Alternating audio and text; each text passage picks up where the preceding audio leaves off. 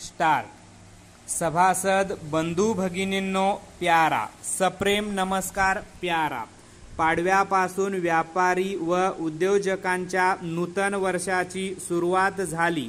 नुकतेच संपलेले दिवाळी पर्व आपल्या कुटुंबियांसाठी खुशालीने व आनंदाने गेले असेल अशी अपेक्षा करतो व आपणा सर्वांस आर्थिक वर्षाच्या यशस्वी वाटचालीसाठी शुभेच्छा देतो प्यारा। आपल्या देशाच्या अर्थव्यवस्थेत कृषीचा वाटा अठरा टक्के आहे. साहजिक राज्यातील व देशातील शेतीचा विचार व्हावा जागतिक बाजारपेठेत. भारतीय शेतीमालाला दर्जेदार स्थान मिळावे शेतीमालाला चांगला भाव मिळावा यासाठी प्रयत्न आहेत प्यारा.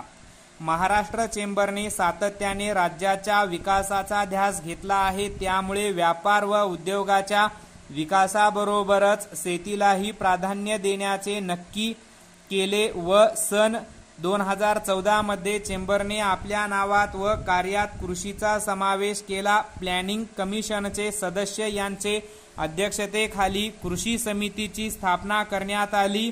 विविध कृषी विद्यापीठातील तज्ज्ञ मंडळीचा या समितीत समावेश करण्यात आला होता. उत्पादन वाढवणे गुणवत्ता वाढविणे व शेतीमालाला बाजारपेठ उपलब्ध करून देणे व योग्य भाव मिळावा यासाठी प्रयत्न करण्याचे काम सुरू करण्यात आले प्यारा.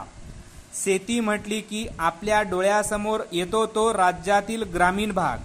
साहजिकच ग्रामीण भागातील शेतकरी वर्गाला शास्त्रोक्त शेती पद्धतीचा वर्ग दाखविण्यासाठी त्यांच्यातील उणीवा दूर करण्यासाठी चेंबरने शेती प्रदर्शन नाशिक येथे आयोजित करण्याचे ठरवले. मागील वर्षी नाशिक येथे आंतरराष्ट्रीय कृषी प्रदर्शन आयोजित केले. या प्रदर्शनाला न भूतो न भविष्यती असे यश प्राप्त झाले. या प्रदर्शनाचे यश बघून दर दोन वर्षांनी असे प्रदर्शन आयोजित करण्याचे ठरविण्यात आले. या प्रदर्शनाचे संयोजक म्हणून चेंबरचे माजी अध्यक्ष महोदय यांच्यावर जबाबदारी सोपविली होती प्यारा.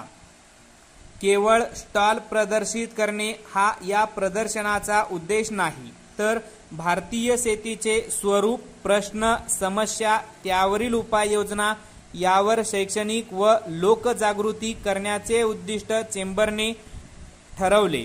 त्यासाठी प्रदर्शन कालावधीत नऊ चर्चासत्राचे आयोजन चेंबरच्या वतीने करण्यात आले आहे. तीसपेक्षा जास्त कृषी तज्ज्ञ व सल्लागार यांचे मार्गदर्शन लाभले प्यारा. कृषी विकासाच्या दृष्टीने चेंबरने राज्यातील इतर विभागाचाही विचार केला पाहिजे. कोकणात फलोत्पादन मोठ्या प्रमाणात होते.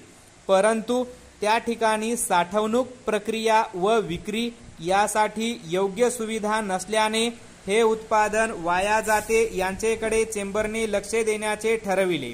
त्या ठिकाणी प्र प्रक्रिया उद्योग सुरू व्हावे निर्यात वाढावी यासाठी गेल्या वर्षी कोकण व कृषी फलोत्पादन परिषद रत्नागिरी येथे आयोजित केली होती. ही परिषद अत्यंत यशस्वी ठरली.